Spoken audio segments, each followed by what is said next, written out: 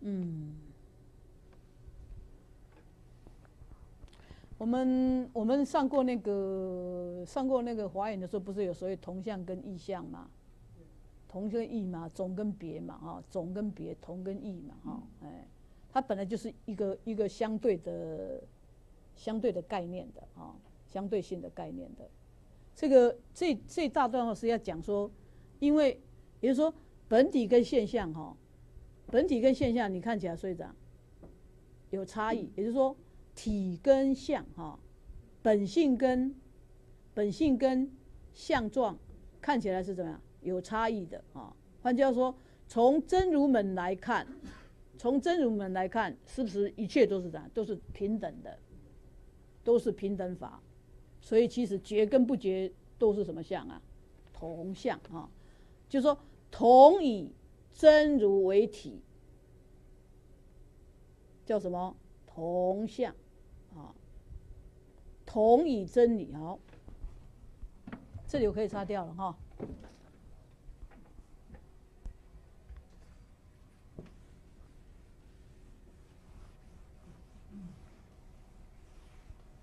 他跟《华严经》的《华严华严五教章》的同相别相又不太同相异相不太一样的意思。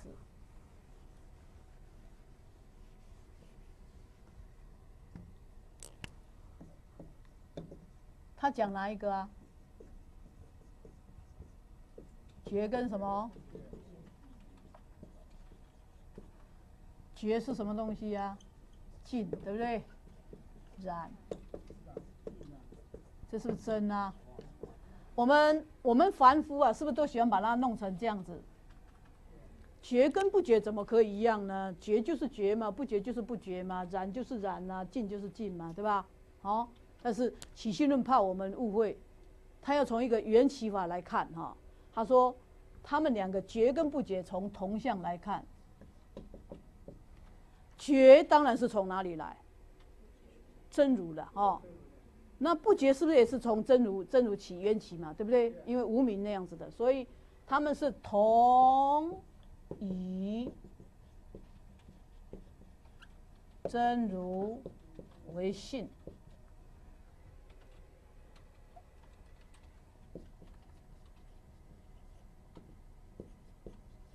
所以说，两个觉与不觉是不是都从真如真如那个，是不是都从真如产生？同以怎么样？同以真如为体性，对不对？所以说他们是怎样啊？也就是说，在真如门来讲，觉跟不觉是不是都是绝对平等？是不是平等法？换句话说，从第一义谛，第一义谛来讲，从第一义谛来说，是不是相等？是平等的？哎，所以他们是在真如门来说啊。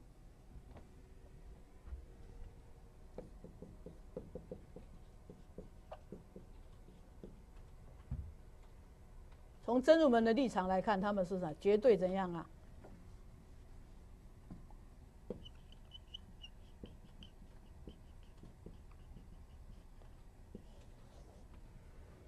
对不对？它只是一个缘起嘛，哈，有没有？是这样，所以说它从这个角度说，他们是什么相？什么相？同相啊！所以从这是从什么角度？第一义谛就是圣义地啊。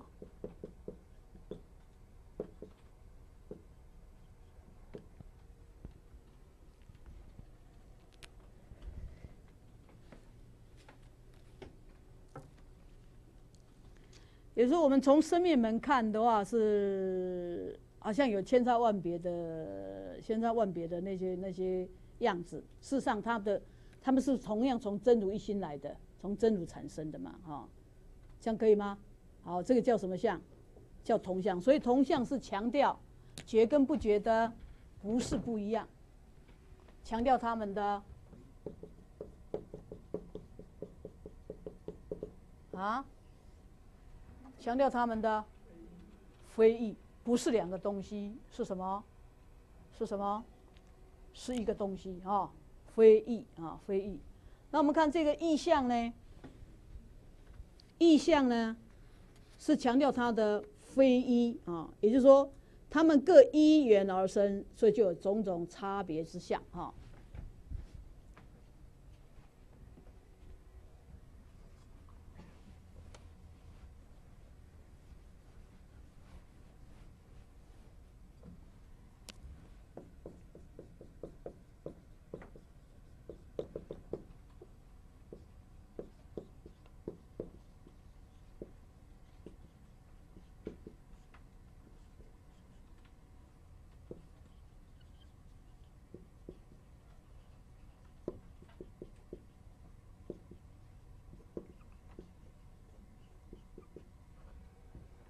所以这是强调它的不是一个。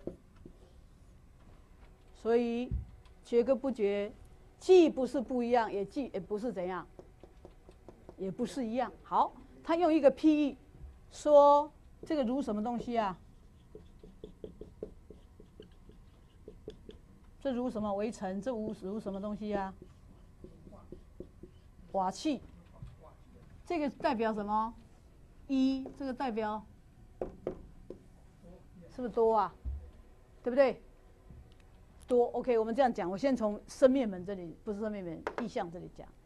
这个瓦器呀，你用那个碗呐、盆子、盆呐、碟子啦，是不是瓦器？这些瓦器是不是各有不同自己的样子相状？对不对？对不对？那个碗跟盘子啦，跟跟碟子啦，跟茶杯啊，样子一样不一样？不一样。所以它叫什么相？异相。它自己各有什么法？各依缘而生，所以是缘起法，是不是产生种种差别的相？对不对？所以是强调它的多，哦。它的差别性，这是差强调它的什么性？平等性。OK，所以说它的什么非一？你总不会拿着碟子去喝茶吧？会吗？碟子碟子的圆跟做成碟子的圆跟做成茶杯的圆一样不一样？一样吗？不一样嘛？它是不是这个模子就不同嘛？所以一圆是吧？就不同。OK，不管你用你用你做成。哪一种瓦器，它都用什么东西做出来？围城。佛教最喜欢把那个最维系啊，最后那个维系的东西做成什么东西啊？叫围城。也就是说，你是不是都用泥土？好吧，就说瓦吧，你是不是都用陶土捏出来的？听懂吗？好，所以说它的体系是不是同样一个？同样都是用围城做出来的。这样了解哈？所以说它的都是以真如为什么啊？为体的，哦。所以从这个角度说，它叫什么？它不是不一样，他是很怕我们把觉跟不觉是不是一刀两断？一刀两断哈。所以就说，也就是说，从真如门来看，什么叫真如门？就是从平等、还灭的哈，从绝对的一个本体的立场来看，一切诸法都是怎样？是真如平等，没有差别。所以觉跟不觉也没有差别，是什么相？是同相，懂吗？觉跟不觉都是以真如一心啊，以真如为体，听懂吗？以真如为体的。如果从生灭门来看，什么叫生灭？就是差别嘛。这边是环灭，这边叫什么灭？生灭。环灭是环这个生灭，所以叫做诸行无常，不是无法无边哈。诸行无常，什么东西？是生灭法是吧？怎么讲？是生灭法。第三句很重要，叫什么？生灭灭已，即灭为乐。所以那个生灭也灭了，叫什么灭？生灭的现象也灭了，叫什么？即灭，或叫什么？还灭门啊。所以。没有这个生灭，所以才雪山童子来说不行。前面只有两句啊，那还是有漏法嘛，还是有违法嘛。所以我要后面那两句。好，你看人家那个罗刹念两句：“诸行无常，是生灭法。”他就马上悟了一半。同学，我再念一次：“诸行无常，是生灭法。”赶快缴学费来。他缴什么学费？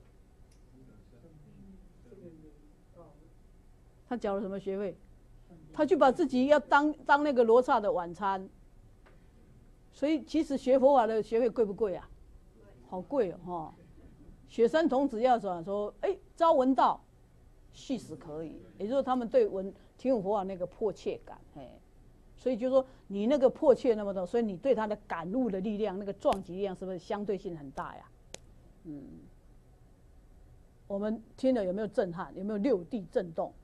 没有。不知道一团一片混沌啊，也很好，没有分别心哈。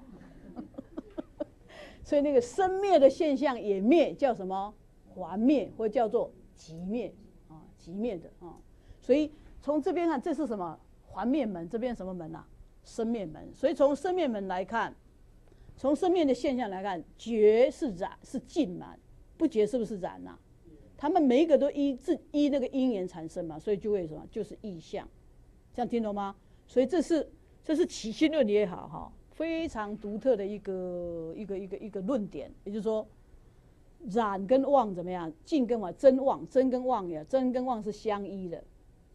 染跟净也是相依的啊，就二一，就是这种二地中道嘛，二地中道的啊，嗯，原中道，嗯，他怕你切断啊，所以说这里瓦器这边是不管任何瓦器，它都是用它都它这是什么围城之象，它是不是围城之象？是不是围城表达出来的像？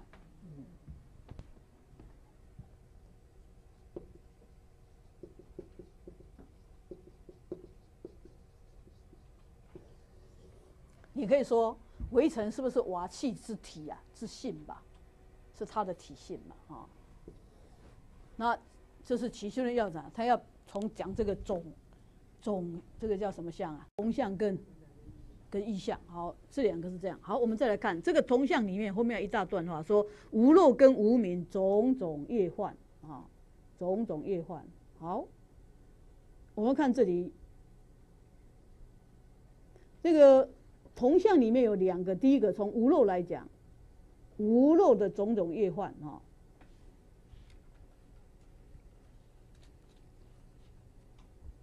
什么叫业幻？就是从因缘所生出来的那些现象跟作用，也就是说，因缘所生的一切法，因缘所生的，因缘所生的这一切法的现象跟作用，啊，现象跟作用。换句话说，从无漏法是不是也可以因为因缘所生出一切法出来？因缘所生的一切法是不是本身就没有实体？没有实体就是不是石油的，是不是就是幻？所以叫什么业幻？业幻其实简单讲就是业相跟什么业用啊？好，嗯。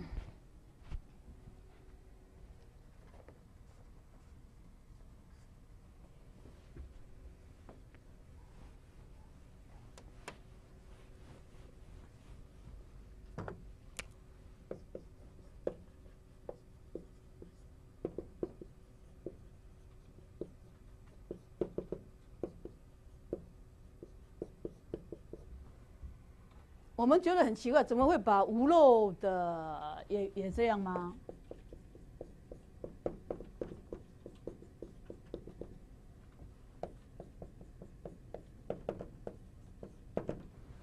照理讲，无漏是不是一个清净的法，对不对？对不对？好，所以无漏业幻还有什么东西啊？无名的什么？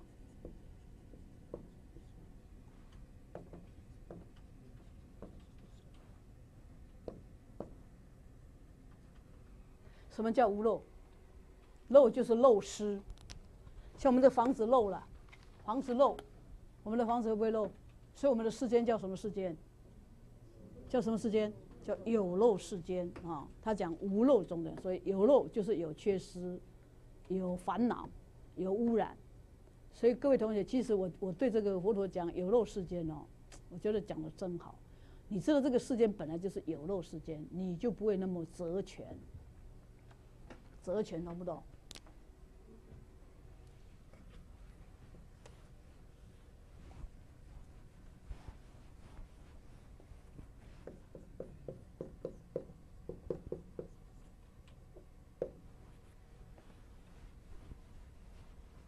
既然世间是有漏的。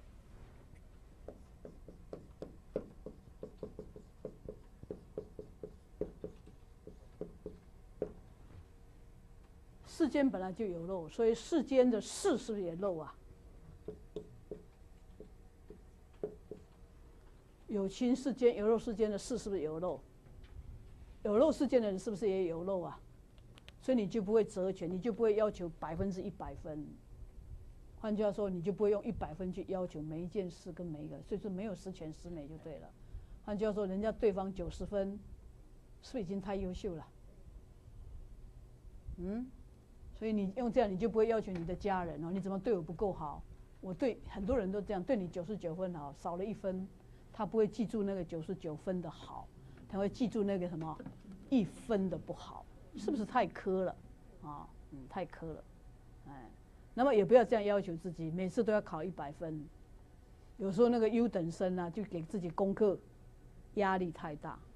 我的家呀，我父亲、我父母对我们家孩子说，八十分就是满分了，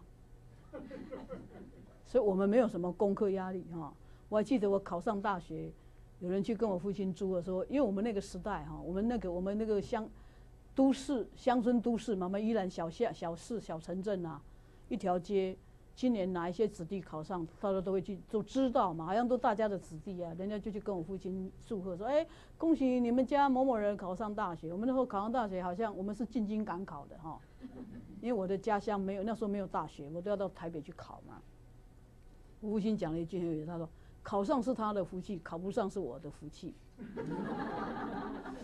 哎，考上我的福气，我就要我就可以去念大学了；考不上他的福气，不用交学费。我他是不是省了一笔钱啦？哎，后来我发现，我如果没有考上大学，他好像也不会那样的 sad 哈，也不会那样觉得很没面子，好像也没关系。哎，我个人觉得很快乐啊，无所谓。我我我们的一个就就是这样子啊，所以我以我的一个时代，我应该是生活生存在那个填鸭式的教育时代嘛？没有啊，都在玩啊。我一路一面读书一面玩，就这样玩，没有很认真在念书啊。就不小心把书读完，这样子，很快乐，哎啊，所以我我觉得现在有些母亲、有些父母，台湾有些孩子好可怜哦，考九十八分还要被打两下，九十八分跟一百分意义差在哪里啊？没意思是吧？所以有时候把孩子干嘛逼死了啊？有漏时间我们就不会责权，不会给人家压力，也不会给自己。我这个意思就是不要叫你们同学不要误会啊，说那我就马马虎虎就低空过关啊，跳那个低栏有没有？啊，刚好哎，择权的啊，叫有漏世间。这意思是说，佛陀告诉我们，这世间不如意事是不是常十之八九啊？不必那么在意。好，这里看呢，说这个无漏是怎么样？无漏的种种业患有哪个？就说。本觉的业相跟佛陀的不思议业用，哈，我把它。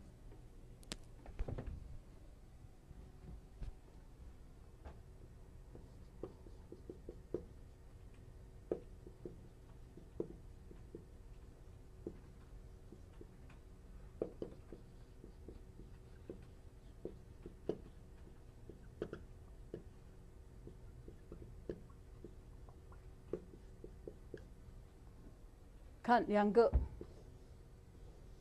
当我们人觉悟的时候，那时候本觉啊，本觉的时候，是不是呈现出来一些相状啊？好，是个什么意思呢？也为什么会产生种种的业患呢？好，OK，像佛的法身有没有变啊？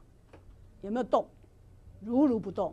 但是佛陀因应我们众生的需要，展现出来的一些。度众啊，所以就菩萨来看，佛展现出来什么东西啊？报身有没有？我们众生展现出来看到佛的什么东西啊？化身。其实佛也没有怎，也没有什么报身，也没有化身，是不是依我们众生的需要？我们众生自己的业感吧，好吧，业力的，我们自己的那个那个叫什么？我们自己的的那个招感，对不对？感跟应呈现出来不同。所以你看出来佛是这个样子，他看出来我是不是这个样子啊？所以一众生二乘人跟菩萨的佛展现出来，是不是有时候有一个报身、应化身的种种的不同？其实那是不是众生自己心心里面变现出来的东西？所以叫做什么无漏什么呀？无漏无漏的一个业业幻啊！因为那个幻不是实有的，所以叫它什么？叫做什么幻？了解吗？OK，我们这样讲好了，是不是有的人会感受到，哎，佛现身给我看，哇，那个佛长得多高？佛会摇手啊，佛会转身呐，佛有没有动？有没有动？其实没有动。法身有没有动？法身有没有动？法身如如不动。那会因为我们众生的需要，哈，不是需要，我们众生自己的那些什么，就会就会产生这些出来。这样了解吗？OK，就像有的人，有人我不是说这个不存在哈，众生每一个人感应不同啊。比方说，有人看到佛光山的佛，哦，转身啦，啊，我跟你摇手了啊。然后有的有的人看到那个佛干嘛，眼皮开起来这样看你啊，你在那边，他你跑到那边，他这样看你。我要讲佛的法身是怎么样，有没有动？如如不动啊。所以菩萨会看到那个有三十二相八十种好的这种报身。对不对？那我们 OK 就这样看，这样再讲一个例子：月亮，月亮，千江有水千江月，那个、那个、那个本来的那个本本来那个月亮的千，那个月亮是不是在天上？有没有动？有没有动？没有啊。但是我们每一个一这个一一每一个人的感受的不同，会看到千江有水，啊，今天的月亮好皎好皎洁哦。小偷呢，好讨厌这么亮做什么？啊，害我都不能下手啊！所以其实月的本体有没有动？有没有动？没动啊！千江有水千江月，万里无云万里天。哎，懂了没有？啊，就像我的姐姐奇怪，她都会看到，我都我都没有一次姻缘啊。我们那个宜兰有一尊毗卢遮那佛，雷音寺最早，他们那个很多年前打精进佛期。所以大师不喜欢人家讲这些哈。他们有一天打过去那个的，那比如说佛的眼睛都是这样嘛，慈目嘛，慈眼视众生嘛。他会看那个佛怎样，眼睛眼皮，佛有没有这样瞪人的？没有，佛一定都是这样三分分这样。所以他们在他们在那看，哎，那佛的眼眼皮升起来，然后哎坐在那边看到佛在那边看他，哎跑到这边这样看他，哎，我从来都没看过。他们看到佛光山的大佛。有一年的水陆法会啊，他们就在，在我们佛光山那个佛学院呢，那个法师们诵经是这样嘛？我可以做表演一下哈。法师们诵经是不是这样面对面呐？那那个佛那个那个坛是这样子的，大佛是向着那边，面向那边，信徒是不是站这样子啊？所以法师都这样闭目，闭目养闭目的没有看的，信所以。所以那个佛佛就这样，听说佛就这样转身，我没看过了哈，我不知道啊。所以信徒就干嘛？那些佛教徒就哇很虔诚的拜，我们法师都不知道啊，嗯，怎么搞的？都在都在都在顶礼，看到什么佛怎样啊？转过来给他们看啊。那是不是有人说啊？你们那个大佛是不是做了电动？还得了？那个电动是不是就倒下去？那多高啊？一百二十二尺哎，多重啊？啊，它不是。所以有些。有感有应哦，感召有众生有些会看到，他是不是视线给你看？叫什么东西？他是不是从起心论说那里叫什么无漏的什么？哎，是不是？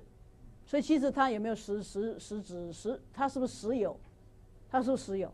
也不是哈。所以你有一些感应啊，那是佛的方便哎，听懂吗？这个叫做什么无漏的什么种种业幻啊？那个幻不是虚假，是说它不是实有存在啊，它是不是也是你的心心念变现出来的东西？这里那个感应有两种，有一种感应叫做灵感，有一种感应叫什么敏感啊，都有感应。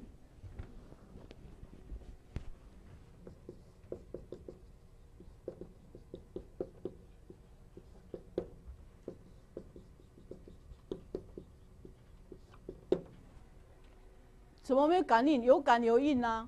这里有一口钟，我敲它，这个是没哑钟哈，没有声音的钟声啊。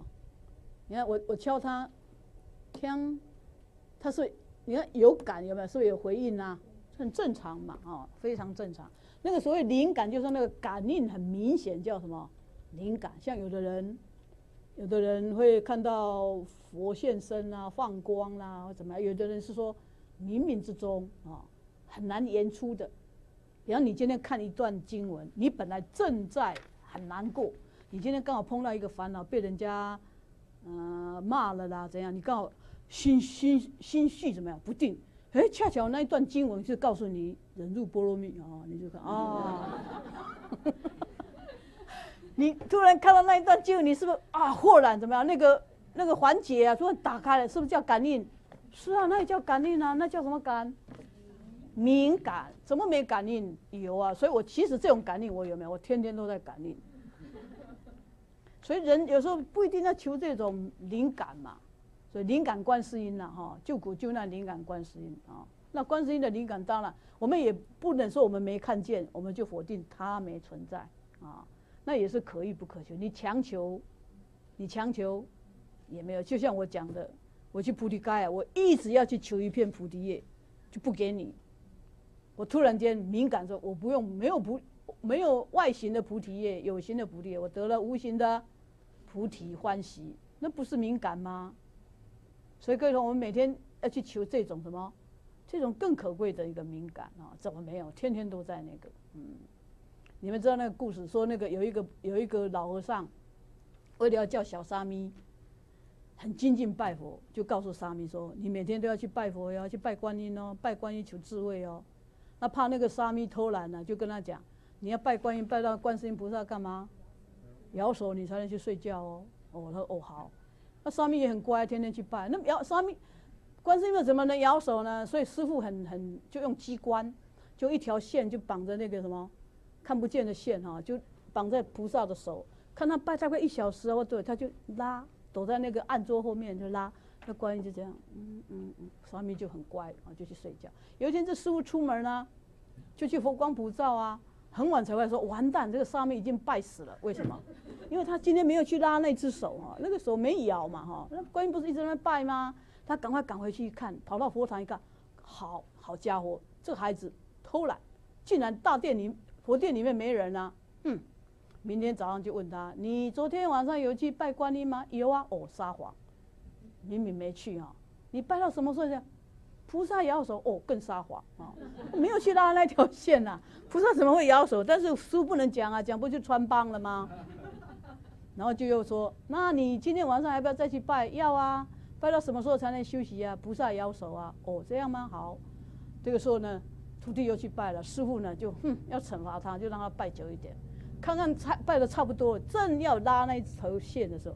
那个叔吓一大跳，目瞪口呆。那个观世音菩萨就咚咚咚走下来说：“摸摸他的头，沙弥你辛苦了啊。”不过各位同学，这个话很难的，你不要回去试验啊。看我家的观音会不会走下来摸摸我的头？哎，但是你如果有心去测验的时候，会不会啊？会不会感召？你那时候叫无名业幻啊，你那时候就叫无名夜饭，不叫什么？不叫无漏业患，你那是无名烦恼起来的，哎，哦，就不是无漏业患。所以很多这种宗教体验呢，是是什么？可遇不可求啊！我大师啊，老是怪我讲这段话，他不喜欢我讲。我也不是讲怪力乱神。那个九二一赈灾，我们有一个师兄弟，他一个人守在那个镇央，刚好那个九二一台湾九二一赈灾很惨的那个哈，那个一个一个地震的一个源呐。就是在那个台湾有一个很有名叫日月潭嘛，日月潭有一个鱼池嘛哈，哎，他就在那守山。因为我这个师兄弟他有打坐的习惯，所以他晚上都在，他都在打坐。那个凌晨一点四十几分呢，就刚好啊地震啊，因为他有他有贫血的那个，他觉得说我今天怎么头这么晕啊？头这么晕，他说怎么晕的好厉害啊？他以为他自己头晕，然后呢才知道啊地震。因为那个地震哦，真是不可思议。他不是，他不是坐在那个那佛前嘛，佛像这样，对不对？有那个大佛像，然后一尊小观音嘛。那前面不是有这个有那个灯嘛，莲花灯嘛？那真的菩萨保佑，那个灯呢是震震的，那个灯就咚，就一直震震到那个桌沿哦，没有掉下去。那个如果掉下去，是不是就烧起来了？哎，那个灯就震到这个桌沿啊。好。这菩萨呢，就怎样，就掉下去了，就这样咚，哎，掉在地上这样，听得懂吗？咚，站得好好的。我开玩笑说，菩萨真的讲四威仪了哈，连掉下去都要讲，要力如松。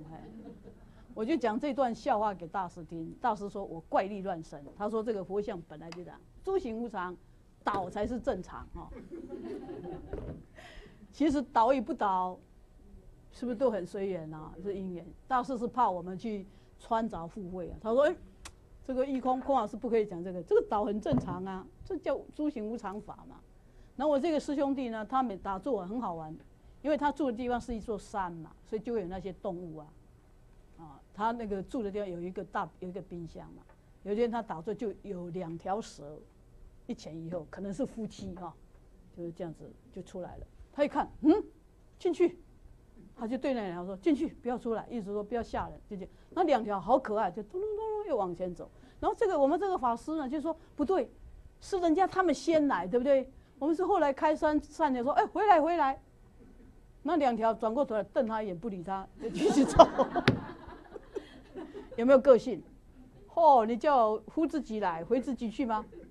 还还转过来看他一眼，不理他，等等等等，又跑去那个，因为冰箱下面可能是比较凉啊，啊，比较凉。其实这个都有一些，有一些感感召啊，有一些那个哈。那看你怎么样，其实那都只是一个方便视线啊。